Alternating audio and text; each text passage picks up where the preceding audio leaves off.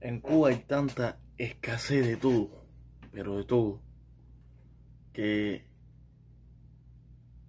que como ya les digo a veces, todavía yo no me explico cómo los comunistas defienden eso.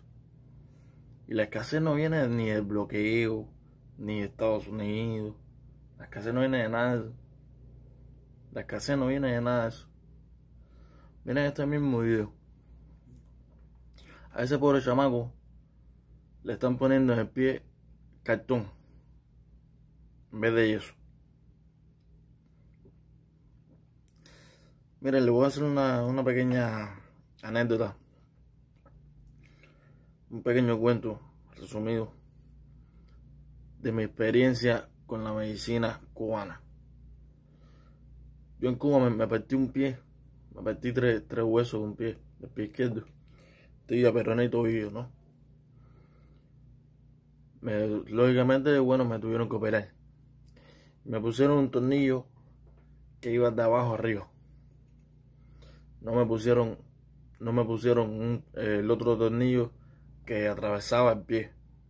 Porque decían ellos que eso con el yeso iba a, coger bien. Decían ellos. Caero, yo tenía que estar yendo todos los días con mi mamá. Tenía que estar yendo todos los días de este mundo al hospital. Porque el yeso se descascaraba por abajo. El yeso se me rajó una vez por la, por la parte de abajo de la rodilla. Y esa vez que yo fui con mi mamá al hospital, cuando aquello yo era menor de edad, tenía que ir al pediátrico. Al pediátrico de, de Matanza. Cuando yo fui con mi mamá al hospital para que, me, para, que, para que me arreglaran el yeso, mamá le pregunta a la, a la enfermera de guardia por qué los yesos estaban así.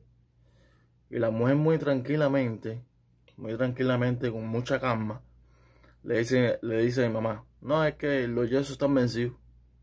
Así, así como si nada, como si eso fuera lo más normal del mundo. Aunque bueno, en Cuba eso es normal. Pero bueno, como si eso fuera algo nada del otro mundo. Eh, y para cómo, después que me quité el yeso, eh, tengo, hoy por hoy tengo el, el tobillo eh, botado para afuera, un hueso botado, botado para afuera. Pero todo eso gracias a la potencia médica cubana, porque no me pusieron el otro tornillo que tenían que ponerme.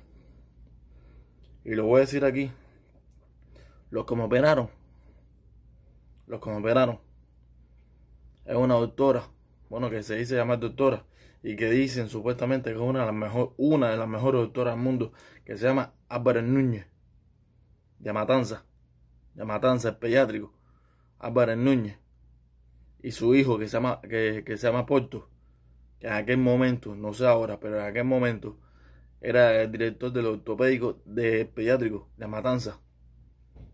Eso para que lo sepan. Para que sepan quiénes fueron los que me operaron. Y a mí esos nombres nunca se me van a olvidar por la hijo puta que me hicieron esos dos. La vieja asquerosa esa y el normal de, y el normal de su hijo. Porque supuestamente ella era la, una de las mejores doctoras de Cuba y lo que me hizo fue una mierda. Y su hijo, el director del ortopédico del pediátrico, vaya, va a director del ortopédico de ese hospital. No quiero ver si, si fuera un aprendiz. Me, me, me, me, me el pie. Si siendo, si siendo el director del ortopédico del pediátrico me dejó como me dejó, siendo un aprendiz me desarma el pie. Hay que picármelo. Entonces. Bueno, nada, cabrón. Nos vemos. Nos vemos en la próxima. Y chao.